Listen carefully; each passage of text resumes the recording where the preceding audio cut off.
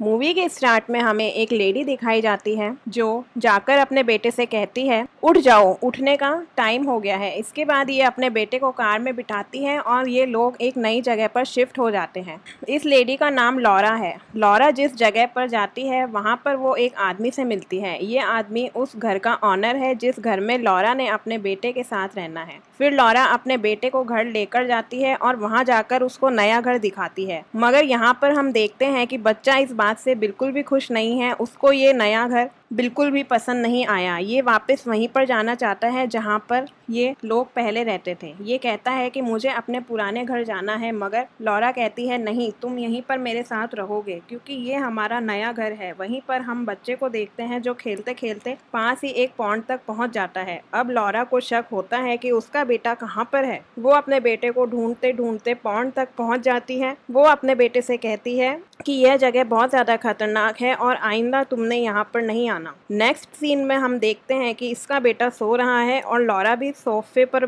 बैठे सो रही है। लॉरा ड्रीम में देखती है कि उसे तालाब में से एक मॉन्स्टर निकला है और वो एक लेडी को उसमें धकेल रहा है, जबकि हम लॉरा के बेटे को देखते हैं जो रूम में सो रहा था। तभी वो फ़ौरन से चिल्लाने लगता है। वो अपनी मदर को बुला रहा था। अब जो लॉरा बहुत ज़्यादा डरावना सपना देख रही थी अब जल्दी से अपने ड्रीम से जाग जाती है और अपने बेटे के पास भागती है। और इसका बेटा कहता है कि, मेरी विंडो के बाहर एक मॉन्स्टर है। लॉरा कहती है कि ये एक डरावना ख्वाब है। मैंने भी ऐसा ही डरावना ख्वाब देखा है, जबकि यहाँ पर कोई भी मॉन्स्टर नहीं है। लॉरा के फ़ोन पर किसी की कॉल आ रही है और ये कॉल पिक करती है। एक्चुअली में ये कॉल इसके हस्बैंड की थी। इस बार हस्बैंड लॉरा से बात करना चाहता था, मगर ये अपने हस्बैंड से बात नहीं करना चाहती थी। और साथ ही घर में अजीब अजीब बातें भी हो रही थी, जैसा कि टीवी खुद ब खुद बंद हो गया था और सोफा फट गया था। सोफे पर स्क्रैच के मार्क्स थे, तभी हम देखते हैं कि फ़ोन पर एक और कॉल आती है और जब ये कॉल पिक करती है तो ये कॉल इसकी मदर की थी। क्या आपने सबको बताया है, मैं कहाँ पर आई हूँ?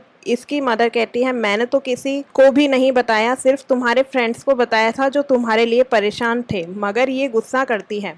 आपने क्यों बताया? आप मेरे साथ ऐसा कैसे कर सकती हैं? अब आपकी वजह से मेरे हस्बैंड को पता चल गया है कि मैं कहाँ पर हूँ। वहीं पर हम इसके बेटे को देखते हैं जो अभी भी अपने रूम में डर रहा था। मॉन्स्टर के आने से वहाँ पर लॉरा भी अपने मुँह पर ब्लैंकेट ले लेती है, तब इसको अपने बचपन की याद आती है जब यहाँ पर ये स्लैब पड़ रही है और घोस्ट को बुला रही है। पर तभी इसके पास इसकी ग्रैंड मदर आती है। वो इससे कहती है कि तुम्हारे लिए जितना ये सब कुछ मुश्किल है, मेरे लिए इतना सब कुछ मुश्किल नहीं हुआ था। इसकी ग्रैंड मदर इससे पूछती है, क्या अभी भी घोस्ट नहीं आया? तो ये कहती है, वो तो सिर्फ़ बेसमेंट में ही आता है। वो यहाँ पर नहीं आता। और उसके बाद हम लॉरा को देखते हैं, जो एक डॉक्टर को कॉल कर रही होती है। फिर डॉक्टर को बताती है कि शायद उसको अपने लिए मेडिसिन चाहिए, इसको अपना ट्रीटमेंट कंटिन्यू करना चाहिए। डॉक्टर उससे पूछता है, तुम कहाँ पर हो? मगर ये नहीं बताती, ये डॉक्टर को नहीं बताना चाहती थी कि कहाँ पर है। नेक्स्ट सीन में हम लॉरा को देखते हैं, जो घर के ऑनर के पास जाती है और जाकर उसको बताती है, घर का सीख लीक कर रहा है और टीवी भी खुद ब खुद बंद हो जाता है। अब इस घर के ऑनर उसको बताते हैं कि ये टीवी तो पहले ही लोग छोड़कर गए हैं, जो यहाँ पर रहा करते थे और टीवी के ठीक होने का खर्चा हम लोग नहीं उठा सकते।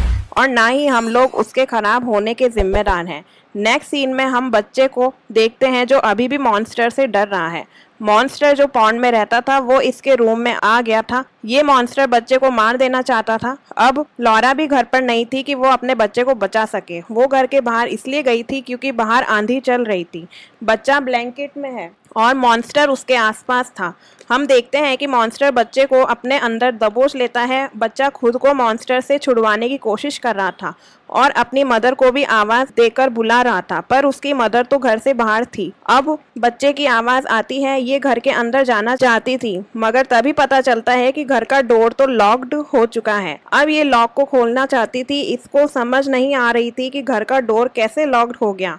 अब ये लॉक को तोड़ देती है और तोड़कर घर के अंदर एंटर हो जाती है, और अब ये जल्दी से अपने बेटे के रूम में जाती है, जो दरवाजे पर खड़ा था। जो बहुत ज़्यादा गुस्से में था, ये अपनी मम्मी से कह रहा है कि मुझे यहाँ पर नहीं रहना, मुझे अपने घर वापस जाना है। ये अपने बेटे से कहती है कि तुम यहाँ से कहीं नहीं जाओगे। और जो कुछ भी हुआ, वो एक ड्रीम था। लॉरा अपने बेटे को समझ ही नहीं रही थी कि जो, कि इसका बेटा बहुत ज़्यादा डर चुका था। अब इसके बाद ये लेडी खुद ही अपने बेटे के साथ टाइम स्पेंड करती है, जबकि इसका बेटा ड्राइंग बना रहा था। अब ये ड्राइंग में एक लेडी को बना रहा था। इसकी मदर पूछती है कि ये लेडी कौन है? ये बच्चा बताता है, ये पॉन्ड लेडी है, ये वही तालाब में रहने वाली लेडी है, मैंने इससे बात की है। ये बहुत ज़्यादा प्रीटी, बहुत ज़्यादा प्यारी है और मैं इसको समझ गया हूँ और मैं इससे नहीं डरता। आपको भी पॉन्ड पर जाना चाहिए और इस लेडी से मिलना चाहिए। तभी हम देखते हैं कि लेडी लॉरा से मिलना नहीं चाहती। अब ये अपने बेटे से कहती है, जाओ, जाकर सो जाओ। नेक्स्ट सीन में हम उसको वही कॉच सीते हुए देखते हैं जो खुद ब खुद फट गया था। तभी वो अपने पीछे वही लेडी मॉन्स्टर को देखती है, ये उससे डर जाती है और भागने लगती है। तभी ये पानी में गिर जाती है। ये उसी पॉन्ड का वाटर था और ये उसकी गहराई में जा रही थी। अब जब पानी से बाहर आ जाती है तो इसके कपड़े गीले थे, मगर इसके कपड़े खुद ब खुद शुष्क हो जाते हैं। हम देखते हैं कि जहाँ पर ये खड़ी थी, वहीं पर इसका बेटा खड़ा था। ये अपनी मदर से पूछता है क्या आपने पॉन्ड लेडी को देखा? तो ये बहुत ज़्यादा डर जाती है और अपने बेटे से कहती है, जाओ, जाकर सो जाओ। रात हो चुकी है। लॉरा का बेटा उससे कहता है कि, वो लेडी आ चुकी है, मगर लॉरा उस पॉन्ड लेडी को अपने बेटे के आसपास नहीं देखना चाहती थी। अब इसका बेटा दरवाज़ा खोलना चाहता था, मगर ये अपने बेटे से कहती है, दरवाज़ा मत खोलो। हम देखते हैं। वो लेडी घर के अंदर आ जाती है, तभी लॉरा अपने बेटे को घर से बाहर ले जाती है। ये बहुत ज़्यादा डर गई थी। इसका बेटा इसको हौसला देता है कि,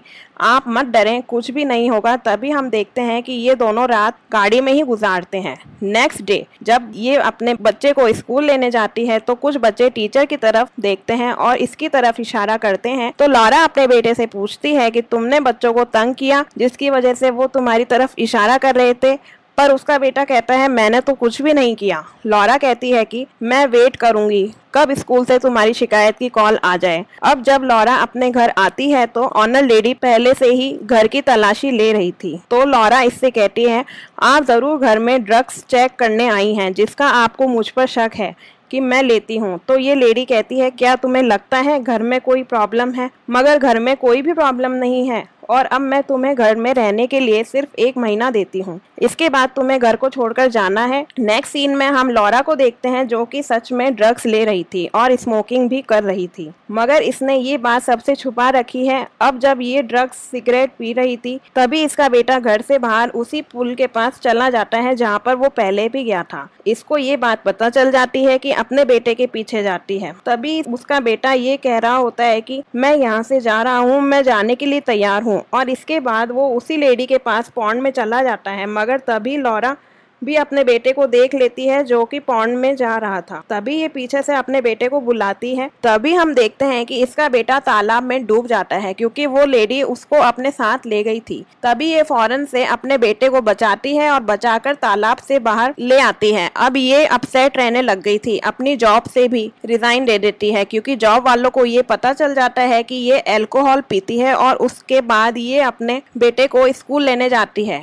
इस बार इसका बेटा स्कूल में इसका वेट नहीं कर रहा था। ये अपने बेटे को ढूँढने लग जाती है कि वो कहाँ पर है। तभी वहाँ पर पुलिस भी आ जाती है। लॉरा पुलिस को बताती है कि मेरा बेटा गुम हो गया है और अभी सभी इसके बेटे को ढूंढना शुरू कर देते हैं। इसके बाद एक ऑफिसर इसके पास आती है और कहती है कि, हम आपके बेटे को नहीं ढूंढ सकते क्योंकि एक्चुअली में इसके बेटे की तो डेथ हो चुकी थी। इसके बेटे की डेथ एक साल पहले हो चुकी थी और अब तक ये ख्यालों की दुनिया में रह रही थी। क्योंकि ये इस बात को मानना ही नहीं चाहती थी कि इसके बेटे की डेथ हो चुकी है अब ऑफिसर भी इससे पूछती है कि आपके बेटे के साथ क्या हुआ था। ये ऑफिसर को बताती है कि एक दिन ग्रोसरी की चीज़ें लेने के लिए जब ये किचन में गई थी, तभी इसके बेटे के साथ कुछ गलत हुआ है। तभी ये पौंड की तरफ़ जाती है, जो कि एक्चुअली में इसका बेटा पौंड में डॉप, डूब चुका था।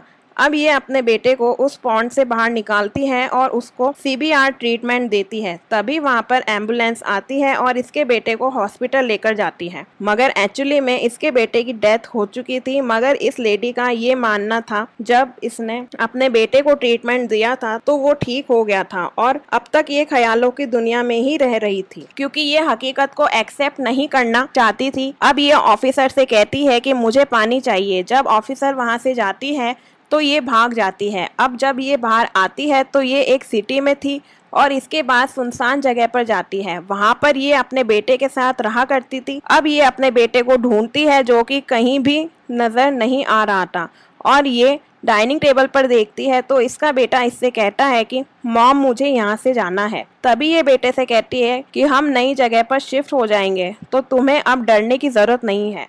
बच्चा यहाँ से जाना चाहता था, जैसे ही वो दरवाजे की तरफ़ जाता है, तभी अपने बेटे से कहती है, तुम्हें मुझे छोड़कर नहीं जाना, तभी इसका बेटा इसको धक्का दे देता है। तभी हम देखते हैं कि घर में वही लेडी मॉन्स्टर आ जाती है घर में सभी चीज़ें गिर रही थी, बहुत ही ज़्यादा डरावनी सिचुएशन बन जाती है। वो मॉन्स्टर लॉरा के सामने थी, तभी मॉन्स्टर वहाँ से गायब हो जाती है। अब ये अपने बेटे के पास जाती है, कहती है प्लीज़ मुझे छोड़कर मत जाओ। तभी इसका बेटा कहता है कि मॉम जो कुछ होना था, वो हो चुका है। मगर अब मुझे जाना होगा। इसमें आपकी कोई भी गलती नहीं है। मगर अब मुझे अपने घर वापस जाना ही जाना है। आप मुझे ज़्यादा देर तक नहीं रोक सकती। आपको हकीकत को मानना होगा। ये अपने बेटे को रोकने की बहुत ज़्यादा कोशिश करती है, मगर इसका बेटा अब इससे दूर जाना चाहता था। हम नेक्स्ट सीन में इसी लेडी को देखते हैं जो अपने बेटे को उसी पॉन्ड के पास लेकर आई है। अब तभी उस पॉन्ड से वो मॉन्स्टर लेडी बाहर आती है, मगर इस बार वो मॉन्स्टर लेडी नहीं थी,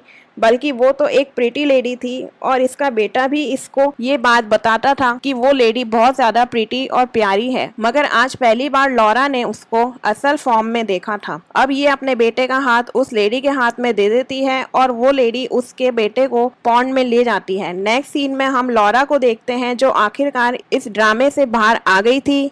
इसने अपने बेटे की मौत को एक्सेप्ट कर लिया था। अब यहाँ घर वापस जा रही थी, जहाँ पर ये रहा करती थी। मूवी यहीं पर एंड हो जाती है। हेलो गाइस आपको ये मूवी का हिंदी एक्सप्लेनेशन कैसा लगा? और आगे आप कौन सी मूवी का एक्सप्लेनेशन सुनना चाहेंगे, कृपया कमेंट में लिखकर बताएँ। और मेरे इस चैनल को लाइक और सब्सक्राइब ज़रूर करें। और हाँ बेल आइकन दबाना मत भूलिएगा, जिससे आपको समय समय पर आने वाली मूवीज़ की नोटिफिकेशंस मिलती रहे। धन्यवाद।